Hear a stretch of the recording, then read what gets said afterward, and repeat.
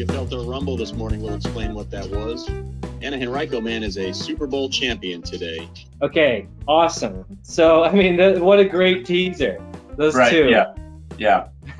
I Uh, love yeah, that. you know, I try to do again. I, I'm I, I try to do it kind of like a radio news update where you give a Yep. teaser or two at the top. I mention who the sponsor is that day, and then we Right. have typically you know four or five minutes of usually probably three to four news stories and maybe a couple of events that are happening either that day or the next day.